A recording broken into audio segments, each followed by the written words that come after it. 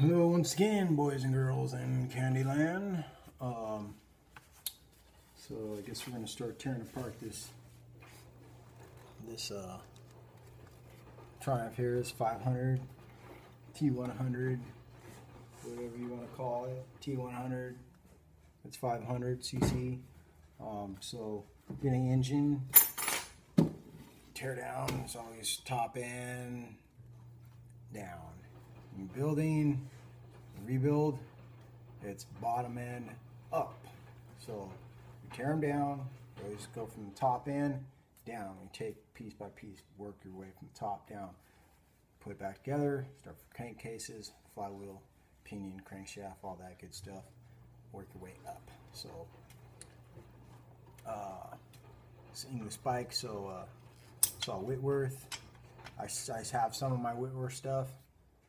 I lost some of my stuff, or some of my shit got like gaffled, or I fucking brought it to the shop, one of the shops, and was like, oh, I had it all bundled up, and fucking got my shit running, and got all nutted my pants, and was like, oh, and took off without my shit, and left like half my Whitworth shit there, because I'm like, where's all my fucking Whitworth? But is Whitworth, so.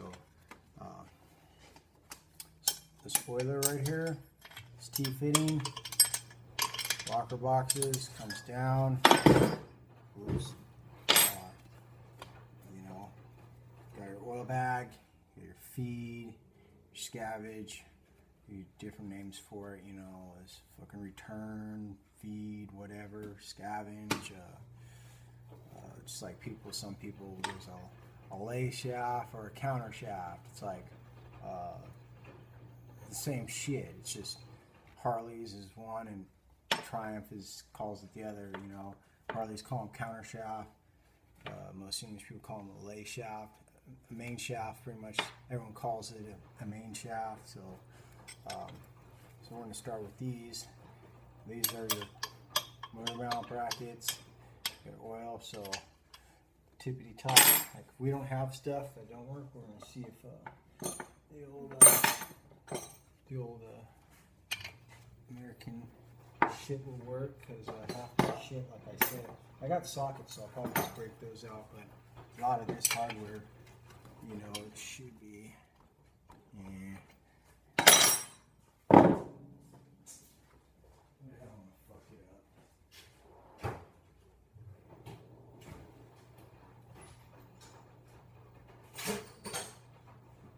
Two seconds. Bear with me.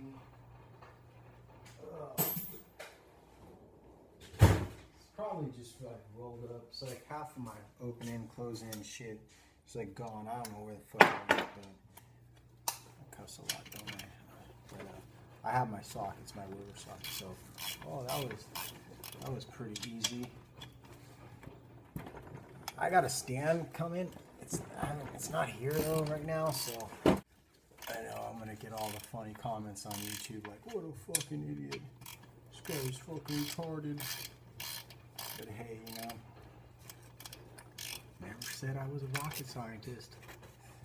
So what I do is when I'm working on a bike, I always get like one of these, and every little section, you know, like every bolt you take off, like the rows, you get them, right?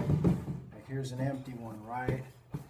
It's a red and white one, right? So like you open it up, and like all the first shit goes here, dude, dude, dude. As you take shit up, just top in, top all the way down, and all your stuff's here. You're not gonna lose it. You know, you might label it Triumph, whatever. You know, so every nut and bolt has a place. And, you know, and even if you can't remember like where it came from, you can pretty much guess because it's all chronological. All you gotta do is look at it and go, okay, well this was the highest bolt. The next highest bolts are these.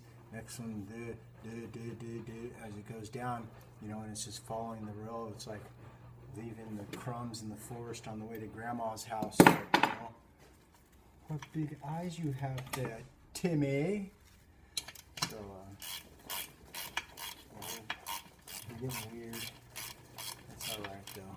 It's all fun. I gotta, I gotta build this fucking thing, get this done. So, um, and also another cool thing you can do instead of like, especially when it comes to when it comes to tearing breaking it down. It doesn't really matter if you use uh, power pneumatic shit. You can use uh, pneumatic like air tools or battery powered like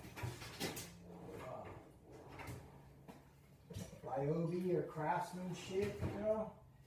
Okay, we're back. I found it. So, what I was looking for was this doodad. From there, it was big to small. So, Whitworth socket goes on here, right? Big to small, half inch to, to, you know, you see how big that is? So, like here, right? And then I'm like, you know, like, you know, add some speed.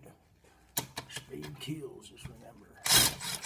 So the reason why I say it's uh, cool to do this when you're um, taking shit apart, it's okay. But when you put shit back together, um, you don't want to like just everything has to be torqued to spec. So if it's not, uh, you know, if you just get on here and start blasting shit down, you're gonna fuck shit up. It has to be like to spec, like torqued.